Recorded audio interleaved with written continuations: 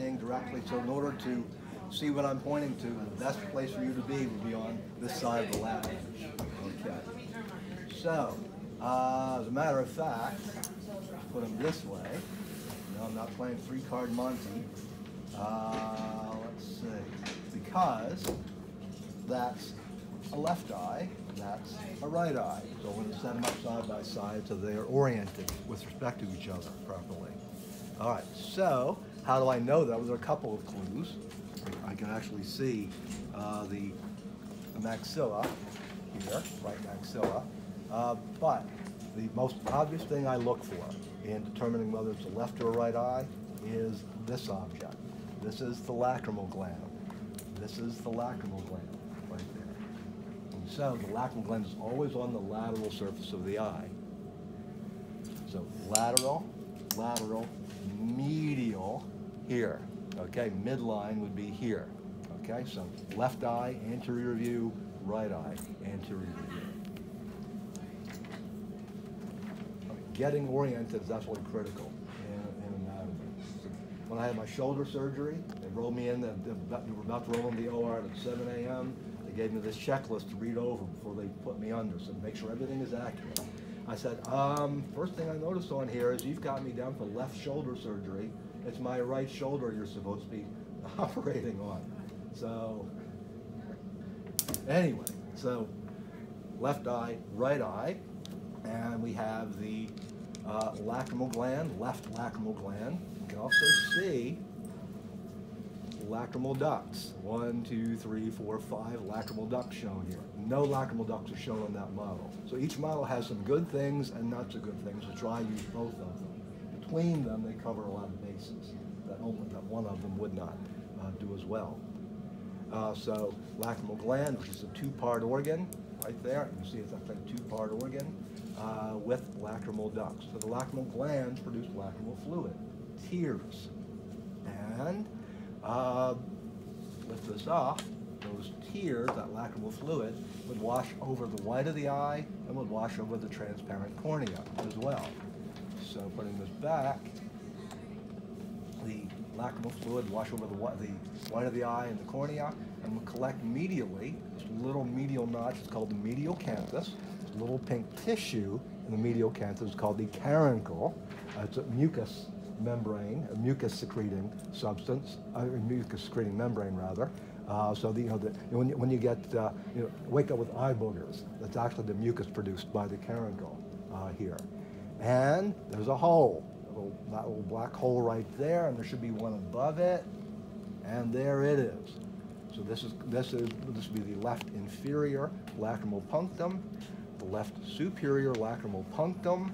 So punctum is a hole leading into the lacrimal canals. So that's the left superior and the left inferior lacrimal canal.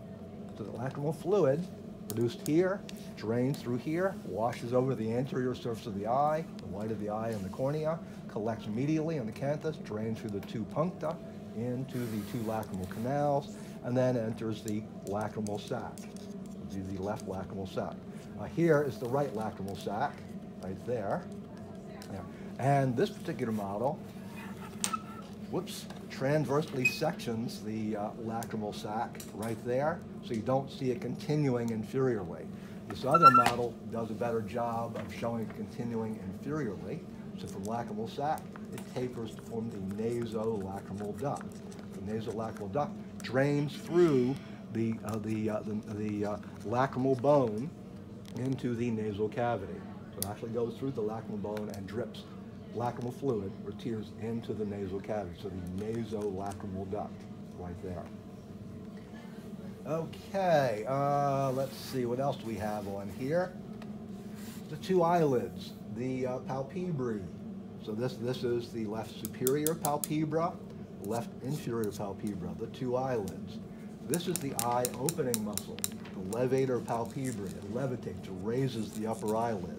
So when this muscle, the skeletal muscle contracts, it lifts the superior palpebra. That's the eye opening muscle. The lower eyelid doesn't really move. There is no muscle associated with that. The eye closing muscle is not on either one of these models. That's called, that's called the, uh, the, the orbicularis oculi. But neither model shows the eye closing muscle. All right. Um, what else?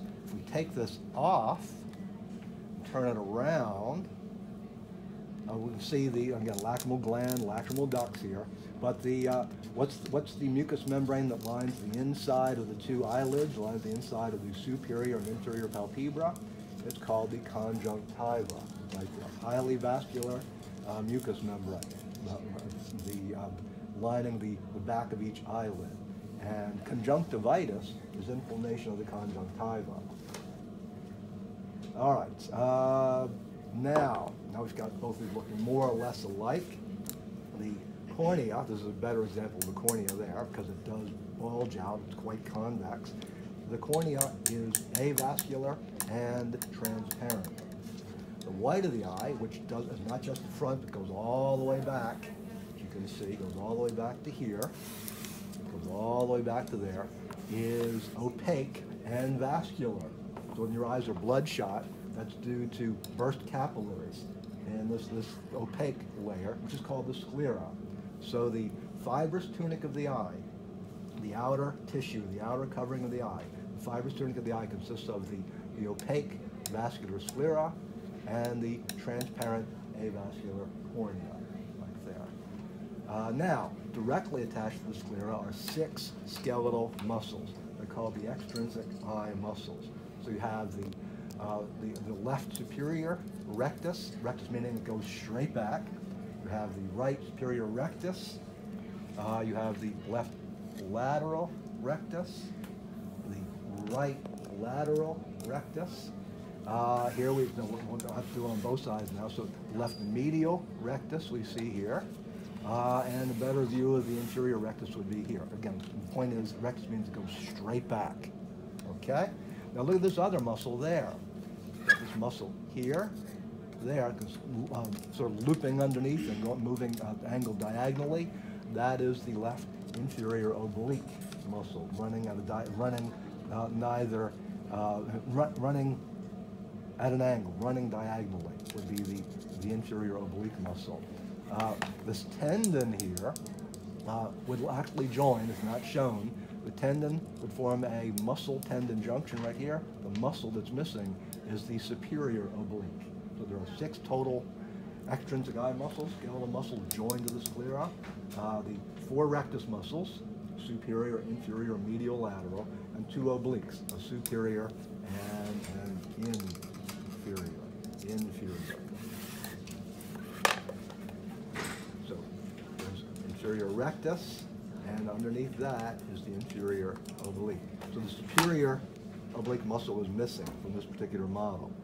That model's got all six.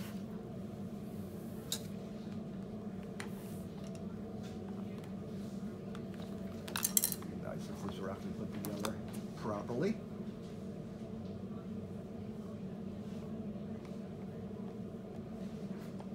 Let's see. I get that to go through. Whoops, did not want to cooperate there. That's better. I should have done that first.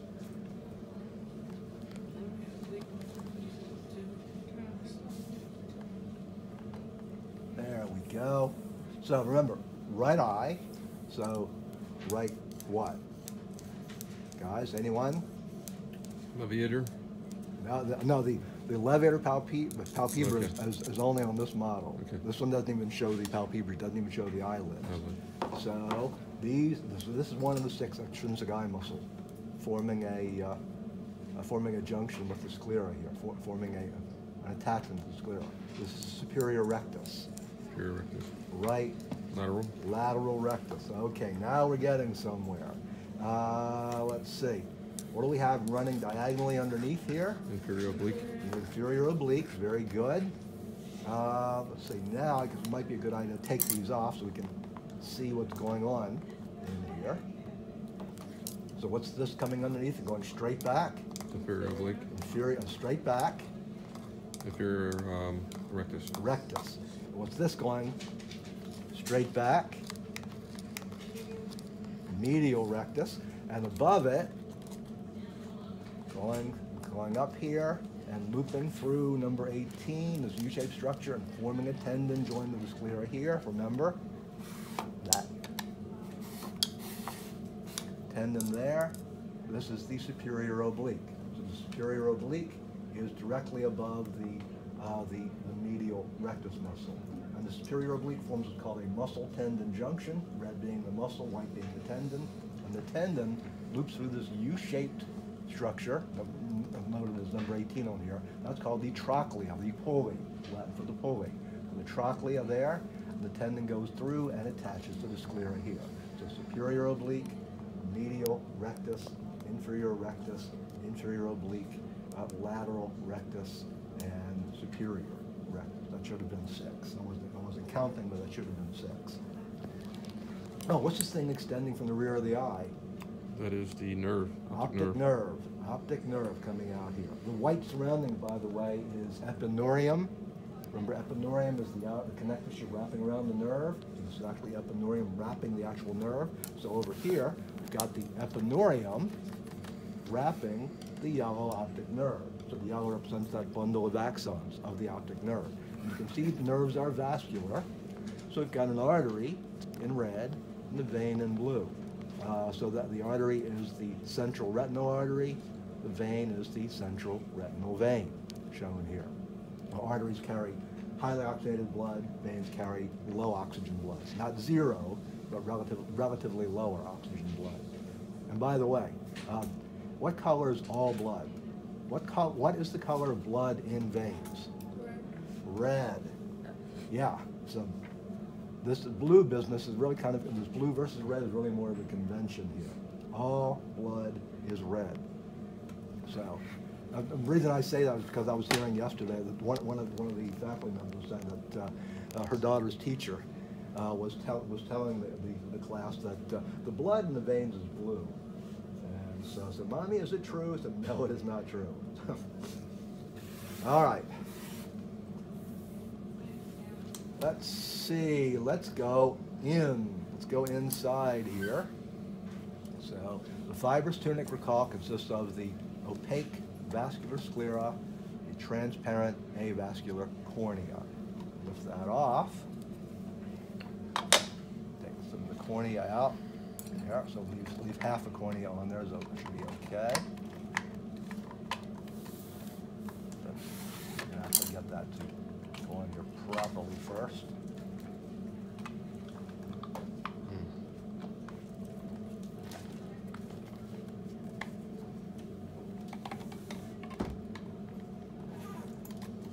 Okay, that's better. Now, fibrous tunic is the outer tunic. Then we have to call the vascular tunic, highly, highly uh, uh, let's see, yeah, a lot of blood supply, best way of putting it, a lot of blood vessels. So all the red and blue would be blood vessels here. The yellow would be nerves, by the way, axon bundles. So the vascular tunic consists of three things. Uh, trying to get it out here so it does not fall apart in my hands. So the vascular tunic consists of the brown choroid layer, lots of melanin, the pigment melanin, uh, the white ciliary body, this ring here is called the ciliary body, and we'll see it actually consists of two things, muscle and processes. That's not shown in this, in this uh, outer view. And the iris right there. So choroid layer, so the, the, the middle tunic of the eye, the so-called vascular tunic, consists of the choroid, the ciliary body, and the iris. What's the hole in the center of the iris called? No pupil. So there's literally a hole. There's literally nothing there. And so when you push, poke through the pupil, what you're going to hit is the lens of the eye, directly hit the lens of the eye, right there. Put this, take this off, goes back in. So, and this lens is not quite right, that's better. That's much better. Uh, so, uh, there's a third tunic. So we're going from outside in, superficial to deep, fibrous tunic, sclera, and cornea, vascular tunic, the choroid, the ciliary body, the iris, and the innermost tunic is the retina, the actual retina, which we'll get to in a moment. But what we're seeing here several things of importance. Between the cornea and the lens. This is the lens right there. Also transparent and avascular. So the only avascular parts of the eye are the cornea and the lens right there. But between the cornea and the lens, or I'm running, I'm tapping back and forth, is a space called uh, called the anterior cavity of the eye. So the anterior cavity of the eye is between lens and cornea. But there's also an iris in there. You can see the bottom half of the iris in there as well. So the iris divides that anterior cavity into two spaces, an anterior chamber and a posterior chamber. So right in here, notice where, where the chopstick is, it's between the cornea and the iris. That's the anterior chamber of the anterior cavity. Then, much narrower, can't quite get, oh, I can get it on the side a little bit. Uh, the narrower space between the iris and the lens is the posterior chamber of the anterior cavity. So what's the significance of the anterior cavity? That's the anterior space of the eye that contains what's called aqueous humor, another plasma-derived fluid. So the aqueous humor is an aqueous solution, water plus electrolytes and non-electrolytes dissolved in it. All right, and the aqueous humor that fills the entire anterior cavity is made by the ciliary processes of the ciliary body. So more on that in a moment. But posterior to the lens, we've got a really big space called the posterior cavity of the eye. So between cornea and lens, smaller anterior cavity, behind the lens, the larger posterior cavity. And what normally fills the posterior cavity of the eye? A large ball of transparent jelly called the vitreous humor. So the aqueous humor is, is an aqueous solution, it's water plus solutes. This is a ball of jelly, clear jelly. Like completely transparent jello sitting in the, the back of the eye, right there. But we take that out, we can take the, uh, take this out too, take this all out there, and we can see the tan layer in here. So actually let's put this in like this. Go from outside in, we go from white sclera to red choroid to tan retina. One, two, three layers there. So all this tan is the retina, the innermost tunic of the eye. And it only goes so far forward. So if, if we go from posterior to anterior, it stops right there. That's called the ora serrata, the anterior border, or the anterior margin of the retina is known as the ora serrata. And you can see the retina is highly vascular, lots of blood vessels in there. Actually, all the blood vessels in the, in the retina are collectively called the Purkinje tree, and an ophthalmologist can actually tell uh, with an ophthalmoscope uh, whether the Purkinje tree appears normal or abnormal. Uh, here is the optic nerve in yellow, remember central retinal artery, and the blue representing the central retinal vein here. Uh, so ciliary body, anterior, uh, the outer view, ciliary body here is much, is actually considerably more complicated. So every ridge you see here, not the grooves between, but the upraised ridges, every upraised ridge, side by side by side, is a ciliary process. What did I say the processes do? They make what? Aqueous humor in the anterior cavity of the eye. Here, this bulge we see here, this bulge we see here, actually joined to the lens. Take that out. Continues all the way down like that. That's, that's the ciliary muscle. It is a smooth muscle. Uh, so the ciliary processes are making aqueous humor. The ciliary smooth muscle is joined to the lens and actually controls the shape of the lens. When we're focusing on something, we're actually altering the shape of our lens to focus. And also, what, what else is needed for that lens shape change these little white strands right here, these are called suspensory ligaments. Right here, suspensory ligaments. They actually, so one end would join to the rim of the lens, the other end of the ligament would join to the muscle, the ciliary muscle. So this end would join to the lens, and this end joins to the muscle. So when the muscle contracts and relaxes, it tugs and, or loosens the, uh, the uh, uh, ligaments, suspensory ligaments, and you get either the bulging or the flattening of the lens, which is necessary for, uh, for focusing. Okay, put this back in, and we would have light reflected from some object, and say, say we're looking, say I'm looking at that paper towel dispenser, looking straight at that paper towel dispenser. Light reflecting from that, from that dispenser is coming in to both my eyes this way, directly through the transparent cornea, through the transparent aqueous humor, through the pupil of the iris, uh, through more aqueous humor, uh, through the transparent lens, uh, through the transparent vitreous humor, and we go all so straight back. It should end right about there, just a little bit lateral to the optic nerve, right there.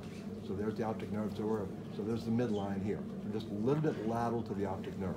So what should be here, they've got way the hell over there. That's way too far lateral.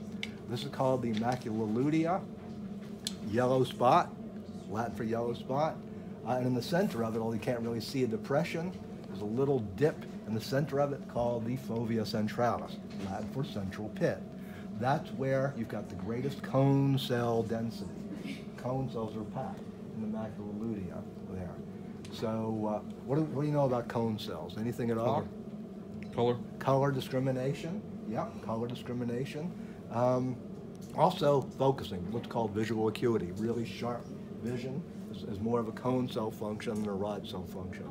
Uh, and in terms of how they respond to brightness of light, cone cells don't respond as readily as rod cells do. In other words, if we were in a completely darkened room and we had a rheostat controlled lighting system, we start turning the rheostat, as light starts to, to come on, it's still quite dim, the first cells that would respond would be the rod cells.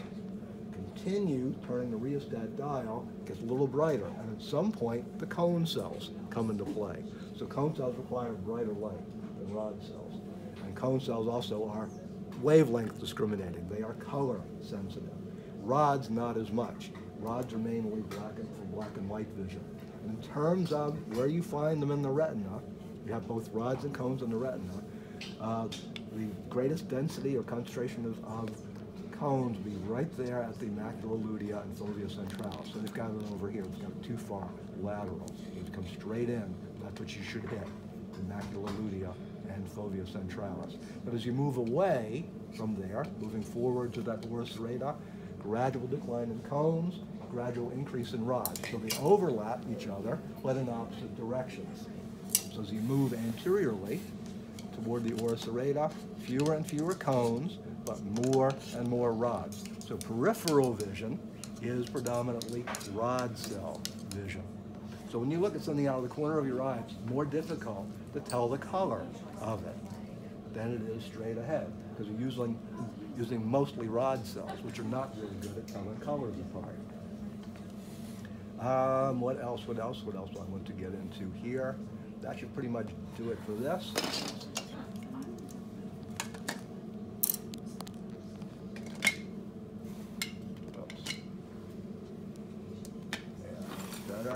Let's see if there's anything in here that's worth noting.